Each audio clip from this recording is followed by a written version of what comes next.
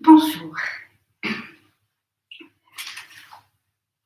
Donc, euh, très bientôt, le 1er novembre, il y a la COP qui s'ouvre, le Rassemblement pour le climat, qui va s'ouvrir à Glasgow.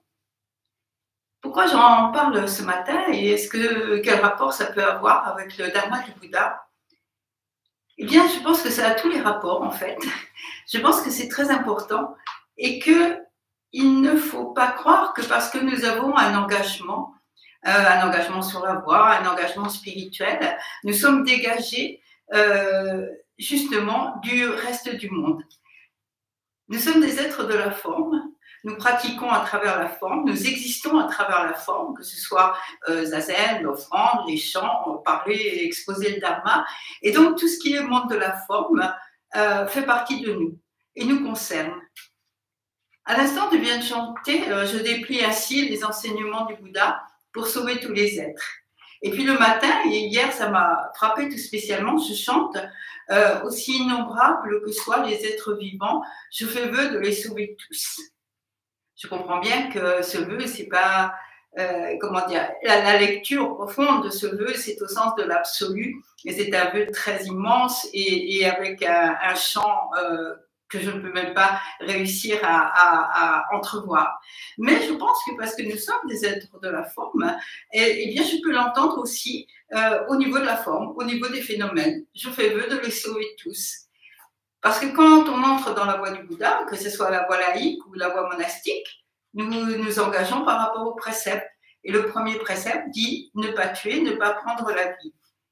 Bien sûr, c'est pas moi qui vais aller tuer les ours blancs au Groenland ou les rhinocéros en Afrique, mais si je ne fais rien, eh, tout ça se fait aussi à travers moi. Parce que, et là c'est mon deuxième point, ce que montrent tous les enseignements du Bouddha, quelle que soit l'école, euh, on en a parlé à propos de l'éveil du Bouddha, peut-être qu'il faudra y revenir, euh, l'éveil du Bouddha euh, qui se fait euh, sous l'arbre, avec l'herbe, avec le gâteau de riz, avec le, jeune gardien de buffle, etc.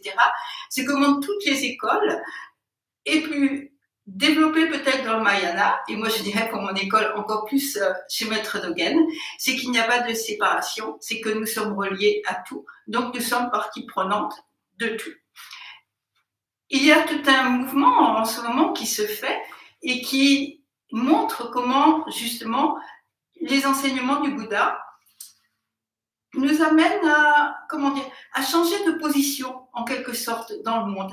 Nous ne sommes plus le centre, nous ne sommes plus euh, le dominateur. Bien sûr, là, en ce moment, tout le monde est en train d'en prendre conscience. Mais disons que les enseignements du Bouddha nous offrent une façon de euh, changer notre position dans le monde et de changer notre compréhension euh, de ce qu'est le monde et de ce que nous sommes. Et c'est pour ça que je pense que c'est très important que nous, en tant qu'enseignants ou pratiquants bouddhistes, euh, nous puissions réfléchir et agir par rapport à cela. Alors, j'ai, il, y a, il y a quelques années, euh, nous avons fait un numéro, alors je ne sais pas si j'ai montré, voilà, ça, c'est le Daishin. C'est le bulletin euh, de la Sangha, de la Sangha de la demeure sans limite. Euh, nous sommes trois en général à le faire. Et puis, à l'été 2018, donc c'est déjà quelques années passées, nous nous sommes mis euh, à beaucoup parce que nous avons fait le premier numéro, en fait, sur la, le, ce qu'on appelle aussi le chemin de l'éco-sattva. Il y a le bodhisattva et puis l'éco-sattva. Le premier numéro de réflexion sur ce que ça veut dire que d'être dans la voie du Bouddha, dans le monde tel qu'il est actuellement, et avec la catastrophe euh, qui est en cours. Je voudrais euh, aujourd'hui partager euh, deux textes, deux textes qui, qui portent sur Maître Dogen.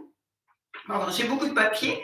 J'ai imprimé hier, alors c'est vrai que on essaye d'imprimer le moins possible, mais qu'il y a des cas aussi où c'est important. Et là, je trouvais que c'était le cas. Donc, deux textes qui nous montrent une autre approche, euh, justement, de cette position euh, dans le monde. Euh, le, premier, en fait, le tout premier, c'est un extrait du Cosmos, le Cosmos et le, Lotus, pardon, de Tring Chuan, qui dit ceci. La spiritualité, au même titre que la poésie ou l'art, constitue une fenêtre complémentaire à la science pour contempler la réalité. Il nous faut faire appel à d'autres modes de connaissance comme l'intuition mystique ou religieuse. Le mot bouddhiste pour cette intuition est l'éveil, l'art ou la poésie pour nous rapprocher de la réalité ultime. Les nymphéas de Monet ou les poèmes de Rimbaud nous éclairent autant sur leur réel que la physique des particules ou la théorie du Big Bang. Pour le bouddhisme, le monde est comme un vaste flux d'événements reliés les uns aux autres et participant tous les uns des autres. Bien sûr, le mot-clé, parenthèse, le mot-clé est relié et on va trouver toujours, et c'est là l'apport le plus important euh, selon moi et selon euh, toutes les personnes qui travaillent euh, sur ce sujet, c'est la non-séparation. La façon dont nous percevons ce flux, le flux d'événements reliés les uns aux autres, en cristallisant certains aspects de manière purement illusoire, nous fait croire qu'il s'agit d'entités autonomes dont nous serions entièrement séparés. Nous sommes tous faits de poussière d'étoiles, frères des bêtes sauvages et cousins des fleurs des champs. Nous portons tous en nous l'histoire cosmique. Le simple fait de respirer nous relie à tous les êtres qui vivent et ont vécu sur la Terre. Donc ça, c'est l'extrait de euh, comme les textes suivants de Daishin, l'esprit vaste. Vous pouvez retrouver, vous tapez dans un moteur de recherche euh, Daishin, l'esprit vaste, vous retrouvez ce numéro et les autres. Et euh, je vais sûrement mettre un lien vers Daishin dans notre site Nous asseoir ensemble.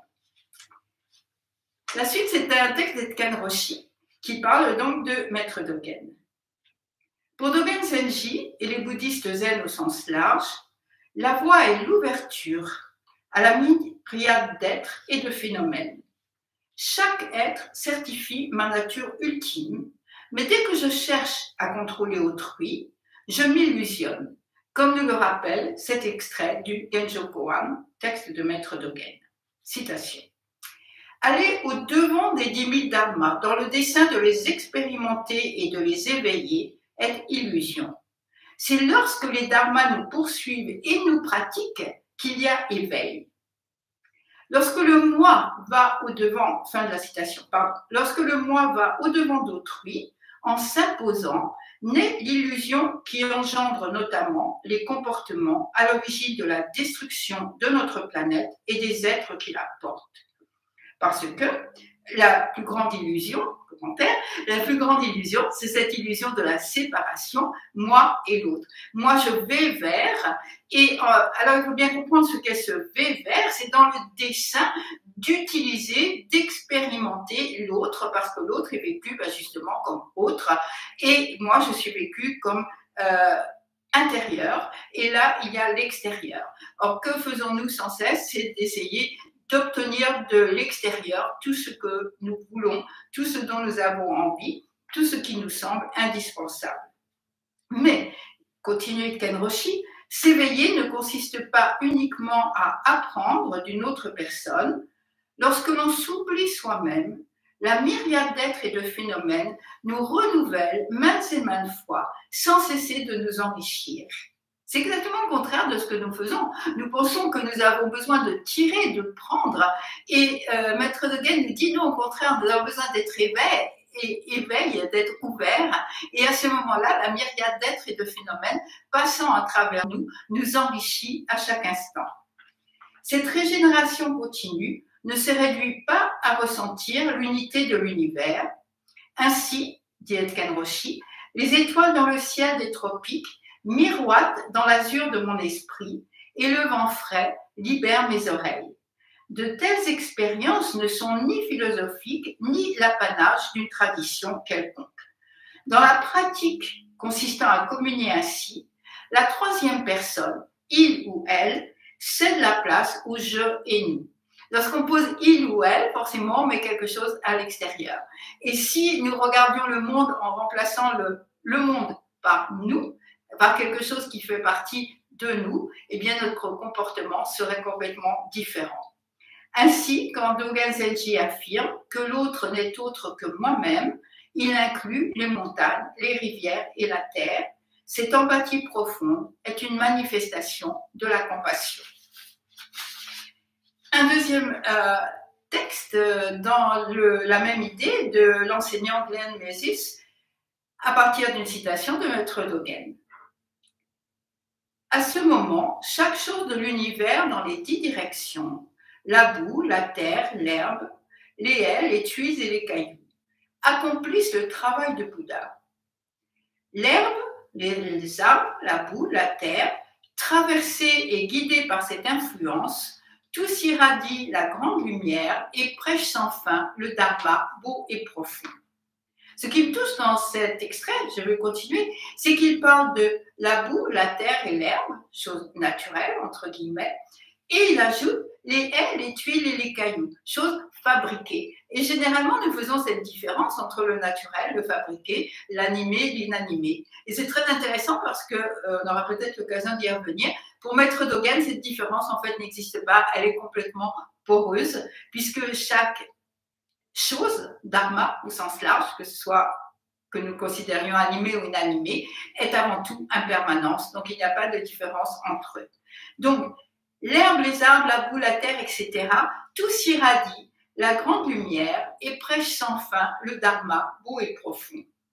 Il continue, maître Dogen, l'herbe, les arbres, les haies et les murs deviennent capables de prêcher le dharma pour tous les êtres, gens du commun ou bodhisattva.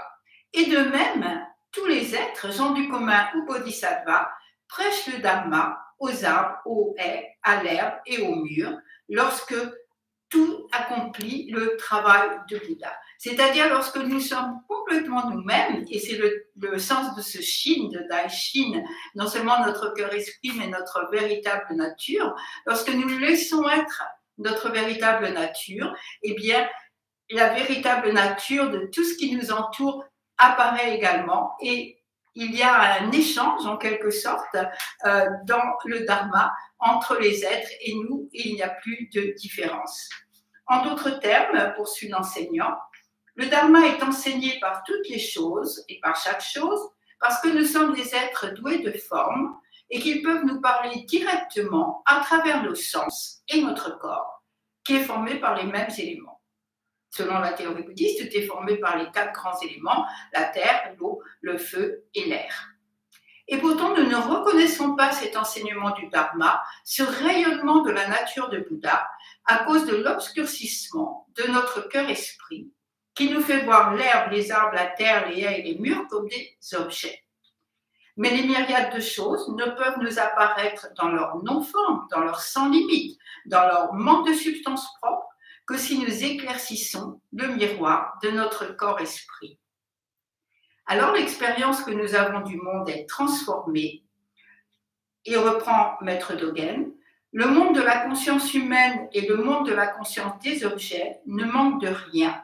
Ces deux mondes sont déjà remplis de la forme concrète de la véritable expérience. Cet état normal de l'expérience, lorsque nous l'avons pénétré, ne permet aucun moment creux c'est l'expérience que nous avons euh, du monde euh, qui va être transformée justement par notre pratique. Et notre pratique essentielle, poursuit Maître Dogen, c'est celle de Zazen. Zazen, même si ce n'est qu'un seul être humain assis pour un seul instant, entre alors dans une coopération mystique avec tous les dharmas et pénètre les trois temps du passé, du présent et du futur. Je comprends que ce sont des termes, des textes un petit peu, euh, un petit peu denses, euh, mais j'avais envie de les partager. Je vous invite à les retrouver donc sur le euh, Daishin de l'été 2018. Et parce qu'encore une fois, il me semble que cette, ce changement de position, ce, changement de compréhension de notre propre nature et de tout ce qui nous entoure est indispensable. Parce que sinon, même si, même si nous trions, euh, même si nous trions euh, les ordures, même si nous faisons du vélo, euh, même si nous coupons pendant que nous lavons les dents, même si cela est fait au, niveau de, comment dire, au niveau industriel, à, tous les niveaux, eh bien, ça sera jamais suffisant. ça, c'est le, texte de, que je voudrais lire la semaine prochaine. Je vais le retrouver. Oui, il est là. Voilà, ça c'est le texte que je voudrais lire la semaine prochaine. Ça c'est le texte de Daishin Novembre qui n'est pas encore euh, mis en ligne euh, et qui nous dit, oui, ce qu'il nous faut changer, c'est notre perception en tant qu'homo sapiens sapiens. Je reviens la semaine prochaine. Je voudrais terminer euh, cette brève approche d'une autre d'une autre façon d'être au monde par un texte euh, que j'ai écrit euh, moi-même et qui s'appelle Danse de Shiva.